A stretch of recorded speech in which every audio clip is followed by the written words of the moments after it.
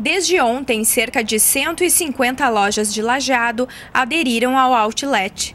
Em alguns estabelecimentos, de manhã cedo já havia filas.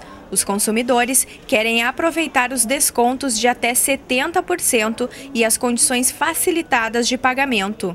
A Câmara de Dirigentes Logistas de Lajeado espera que as vendas aumentem entre 8% e 10%, superando a edição do ano passado.